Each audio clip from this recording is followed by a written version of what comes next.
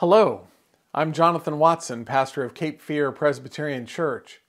Thank you for joining me on this Christmas Eve. No matter where you're watching from, you are welcome here. Let us worship God.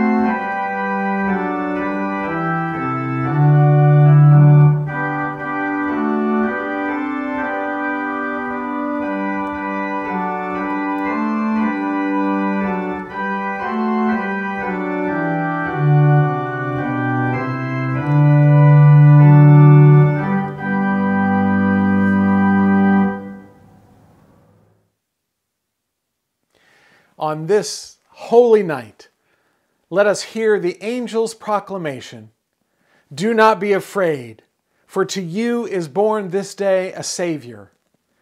Glory be to God, and peace on earth.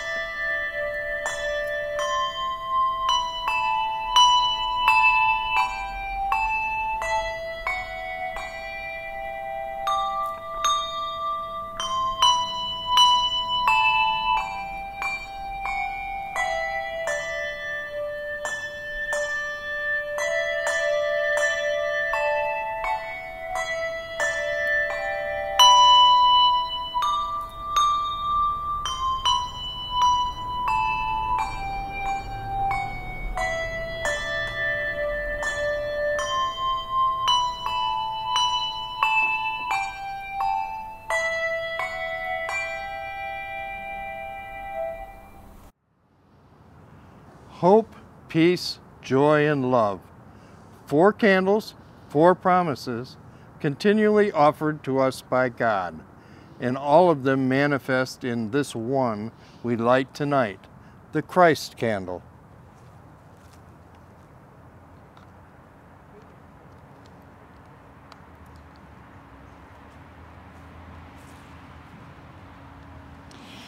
In Christ, we find the hope of transformation, the peace that follows justice, the joy of self fulfillment in community, and the love that encompasses us in all our diversity, empowering us to make our own unique contribution to this world. In Christ, we find light and life and the courage to be like Him, answering His call and following in His footsteps. Let us pray together. Come, to us, Lord Jesus, be born in us this night, in our hearts, our minds, our lives. May the light of your life be kindled in us and lead us to the shining truth of God with us. God for us, God in us. Amen.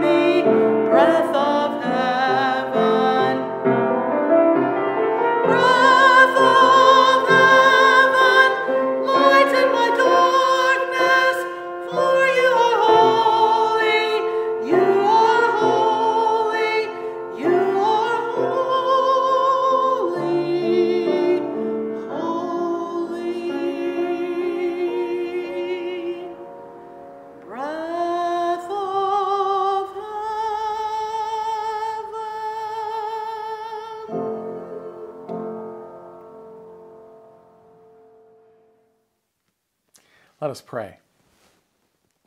Christmas God, because you came to us as a helpless little baby, we are reminded that each of us, young and old alike, are your children. Through the incarnation of your Son, Jesus Christ, the Word has been made flesh, and light has shattered the darkness. Bless this our worship, and lead us to your everlasting light. Amen.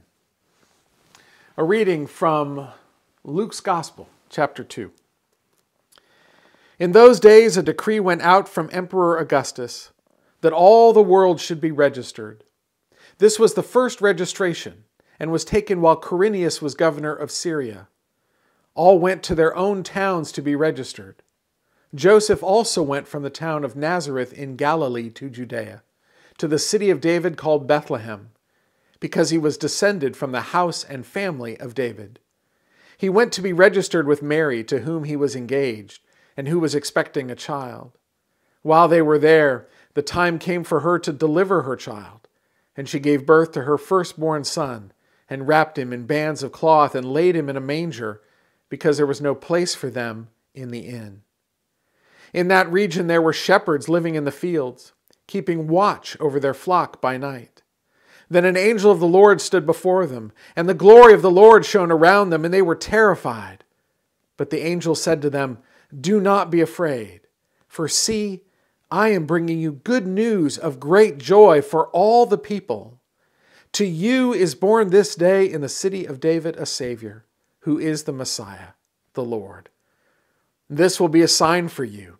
You will find a child wrapped in bands of cloth and lying in a manger. And suddenly there was with the angel a multitude of the heavenly host, praising God and saying, Glory to God in the highest heaven, and on earth peace among those whom he favors.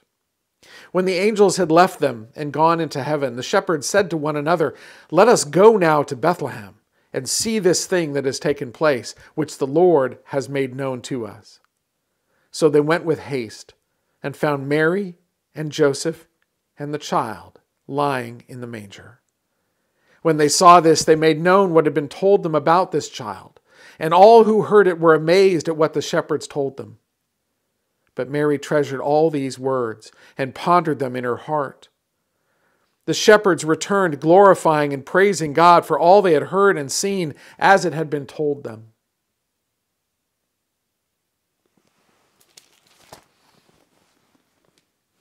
The word of the Lord.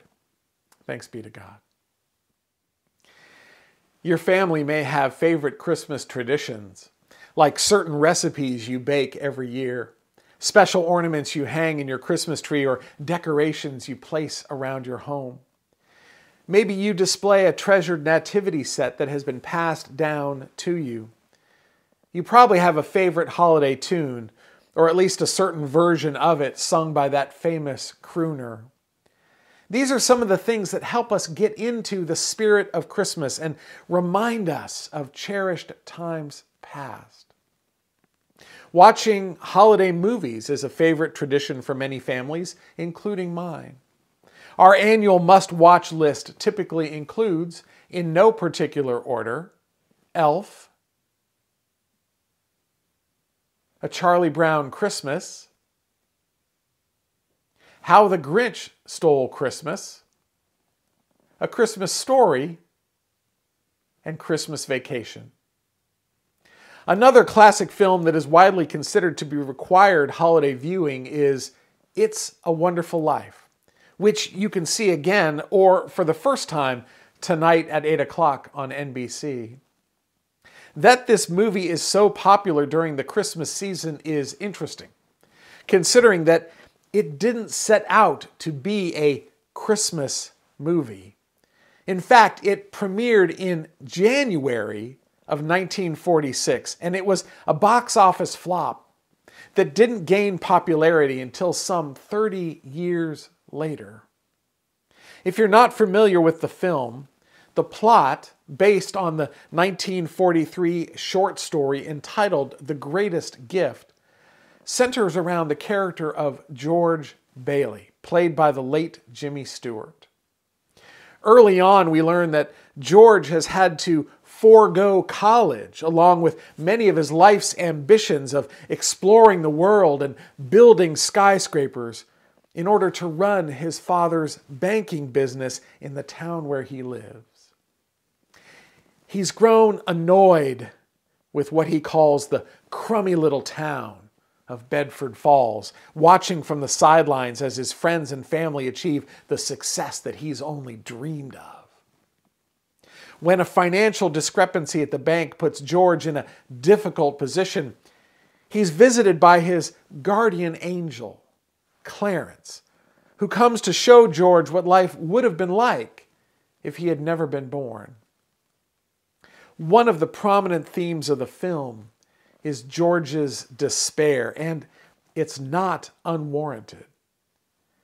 He is facing pressure at work and at home, and his reputation hangs in the balance. It's the 1940s, a particularly anxious period of time in American life because of World War II and the after effects of the Great Depression. It's not an especially jolly holiday film. In, in fact, there are parts of it that are downright sad. But what it lacks in glitter, it more than makes up for with heart. There is a moment about midway through the film before George meets Clarence when he comes to the realization that his life has become anything but wonderful in the midst of a crowded bar, he offers a, a near silent, humble, hesitant prayer to God about his situation.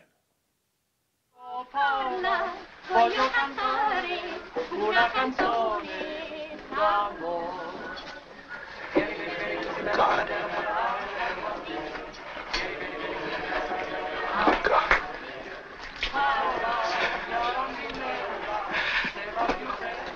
Dear Father in heaven, I'm not a praying man, but if you're up there and you can hear me, show me the way. I'm at the end of my rope, right? Show me the way, oh God.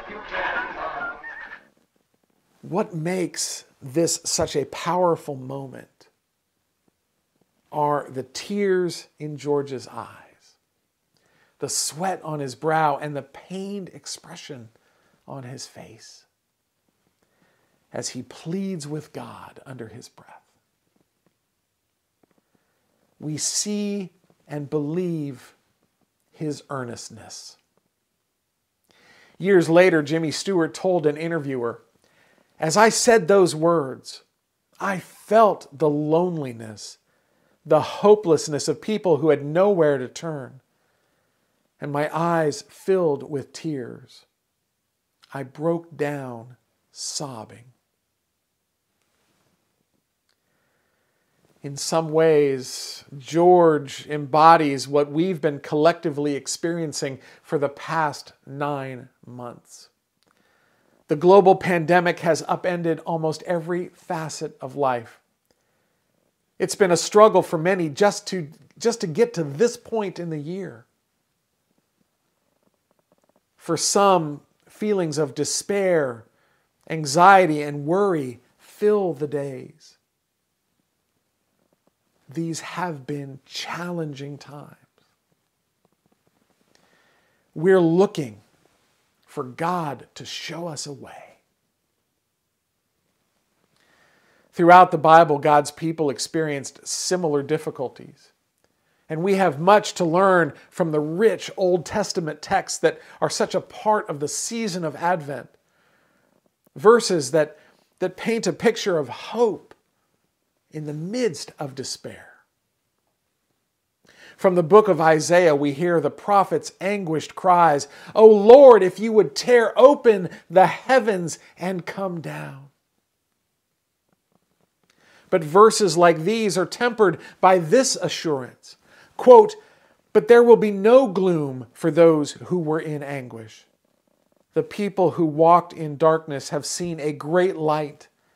Those who lived in a land of deep darkness, on them light has shined. End quote. This great light the great light that would illuminate the darkness the people had been experiencing would be God's Son, Jesus Christ, Emmanuel, which literally means God with us. Fast forward to the New Testament and the glorious fulfillment of this divine promise.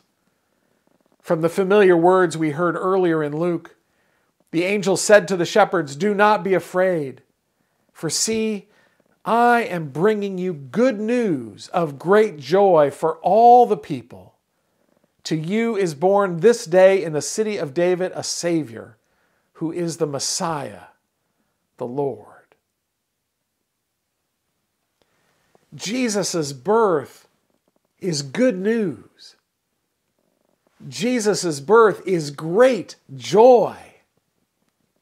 A weary world rejoices. At the end of a long year filled with turmoil, God breaks through. As author Madeleine L'Engle described it, the glorious impossible made possible. George Bailey was shown firsthand what life would have been like without him. And in the end, he discovered that a, a wonderful life was not only possible, but it already existed. He realized how many lives he touched and that he was beloved. At one point, Clarence tells him, Strange, isn't it?